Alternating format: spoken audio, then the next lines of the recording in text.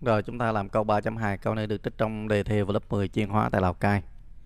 Năm học 2023-2024 Đề như sau. Khi tiến hành điều chế eting acetate theo như sau. Cho vào ống nghiệm 1 ống nghiệm 1 ml alcohol 1 ml axit carboxylic Y. Nguyên chất và một giọt axit sulfuric đậm đặc.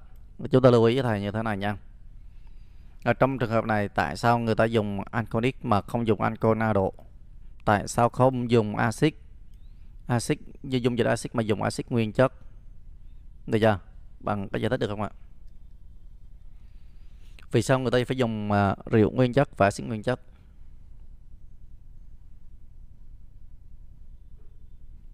Và đây người ta dùng H4 đặc nè đúng không? Các bạn có biết không ạ? Như vậy ancol ở đây chúng ta chọn đó là C2NaOH đúng không em? Vì điều chế ra ating acetate mà. Còn thằng này là chắc chắn là CH3COH rồi. Các bạn nào giải thích được thêm không ạ? À, tại sao người ta không chọn dung dịch mà người ta chọn ở đây nó là nguyên chất? Bởi vì nếu chọn dung dịch thì sao em ơi? Thì phản ứng chúng ta sẽ đạt hiệu suất thấp hơn so với nguyên chất bạn hiểu không ạ? Hiểu vấn đề không? Vì bản chất đây là axit tác dụng với alcohol mà còn nước chúng ta không có tác dụng. Do đó nước chúng ta nó cái thứ hai nữa nếu mình dùng dung dịch á thì H4 đặc này chúng ta dùng rất là nhiều và dẫn đến là uh, chúng ta sẽ bị loãng cái dung dịch thu được. Hiểu vấn đề chưa? Rồi lắc đều sau đó đun nhẹ trên ngọn lửa đèn cồn lúc đầu là chưa phản ứng em nha bởi vì điều kiện để axit tác dụng với ancol đó là hai thằng này phải có nhiệt độ đun nóng. Khi đun nóng thì đun nhẹ trên ngọn lửa đèn cồn và lưu ý là không được đun sôi. Đun sôi nghĩa là gì? Làm cho ete nó bay hơi hết. Được cho em ơi? À, sau đó người ta làm lạnh rồi rót thêm à, vào 20 lít dung dịch muối NaCl bảo hòa. Clorua đấy NaCl. Điều cầu chúng ta là hãy xác định x y z và viết phương trình sẽ ra. Thêm ơi x là ancol y là axit đúng không đúng chưa nè? Như vậy giá đây chắc chắn là te rồi. Được chưa? Rồi viết phương trình sẽ ra nữa là xong câu A dễ rồi. X là gì em ơi?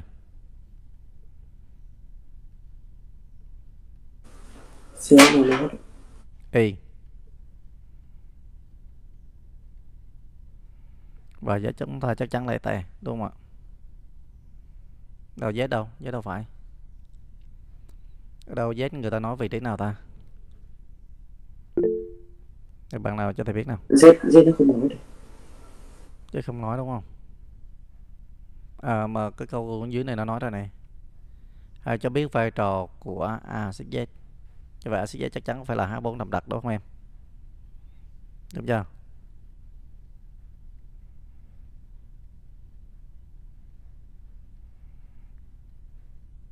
Các bạn ý kiến gì không ạ? dạ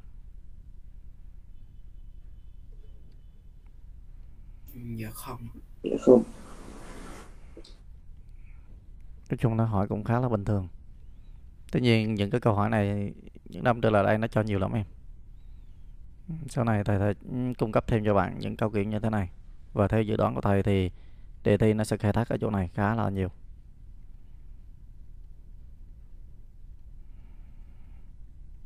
Rồi tiếp tục. Hết câu A rồi nè câu B Ờ, cho biết vai trò của axit và dung dịch NaCl bảo hòa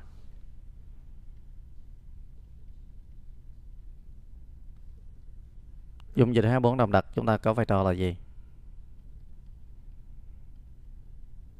Và dung dịch NaCl bảo hòa có vai trò là gì? Đầu tiên là H4 đặc em ơi. H4 đặc ờ, cái nhiệm vụ quan trọng của nó là gì mà ơi tính chất đặc trưng của H4 đặc là gì ạ? Háo nước. Hao nước. Nó có làm xúc tác cho phần này không? Dạ có.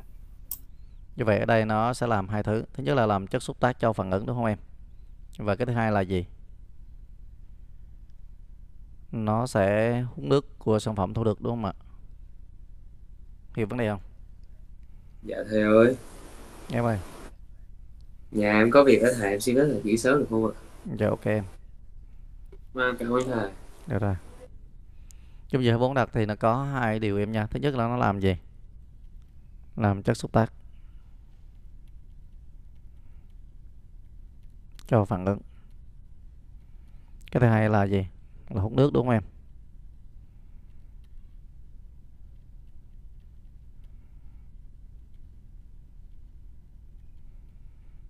Còn có vai trò gì nữa không em ơi?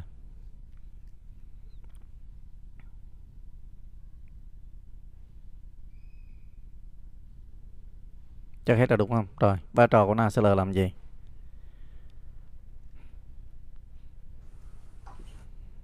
như là giúp để giúp lấy cái este ra dễ hơn này Ừ.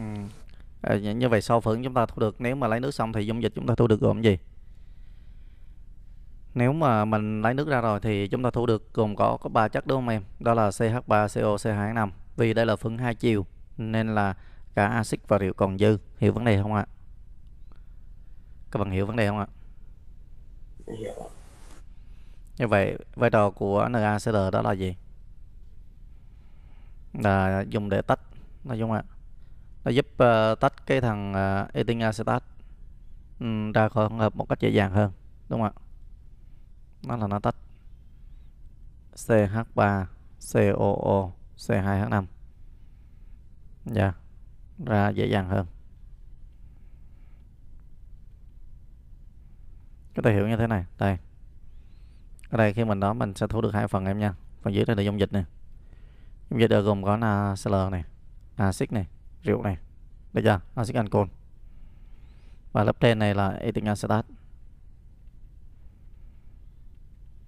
Và nhiệm vụ của NaCl là nó nó phân lớp làm cho lớp trên nó lại te, lớp dưới là axit, rượu và ancol.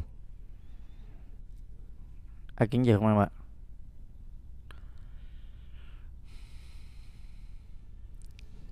Rồi. Chúng ta đến câu C. Rồi, không nào? uhm, tại sao không đun sôi hỗn hợp trong ống nghiệm?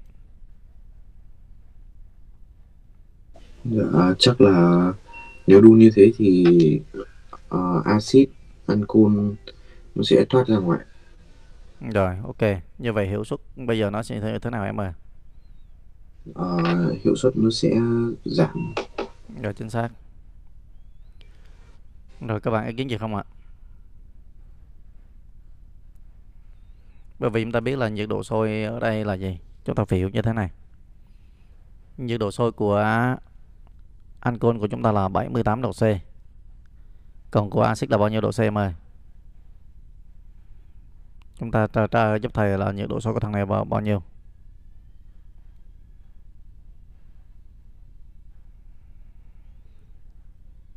Nhiệt độ sôi của axit acetic là bao nhiêu độ C?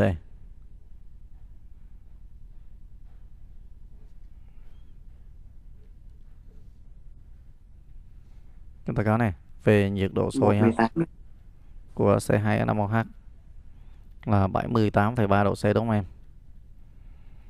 Rồi. Nhiệt độ sôi của CH3 COOH là bao nhiêu? 118 này 118 độ C. Rồi. Như vậy tại sao chúng ta không đun sôi hỗn hợp? Vì nếu đun sôi á, đun sôi tức là nó sẽ đạt nhiệt độ 100 độ C đúng không em? Đúng không? Như vậy là chúng ta như, chúng ta lý luận như thế nào em ơi? Rồi chúng ta như vậy theo bạn thì ở đây chúng ta sẽ đun ở nhiệt độ bao nhiêu là hợp lý? Chắc chắn là phải nhỏ hơn 78,3 độ C hiểu vấn đề không em ơi? Như vậy, tại sao chúng ta không đun sôi hỗn hợp? Chúng ta chúng ta ghi là không đun sôi hỗn hợp vì sao ạ? Vì nó sẽ làm bay hơi thằng CH5OH Đúng rồi. Vì ờ, nó sẽ làm cho C2 vì C2NO2 sẽ như thế nào? Sẽ bay hơi. Bay hơi và dẫn đến là gì? Hiệu suất phản ứng thế nào em ơi? vâng Đúng rồi, hiệu suất phản ứng giảm. Ngôi chốt nằm đó. Rồi còn ý kiến còn có một ý kiến khác nào nữa không ạ? Như vậy nếu ở đây được được lựa chọn thì bạn sẽ bạn sẽ chọn nhiệt độ ở đây mình chọn nhiệt độ là bao nhiêu? Nhiệt độ số, nhiệt độ đúng ở đây là bao nhiêu? Nhiệt độ lý tưởng ở đây chúng ta sẽ chọn bé hơn thằng này. Ở khoảng từ 60 cho đến à, 75 độ C em nha. Là cái đó rượu nó không bay hơi. Đó.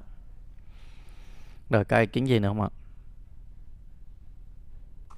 Dạ không. Dạ không. Có thể chúng ta chọn nhỏ hơn được 70 độ C. Nói chung là nó nhỏ hơn 78,3 là được. Được chưa? Mức độ tương đối thôi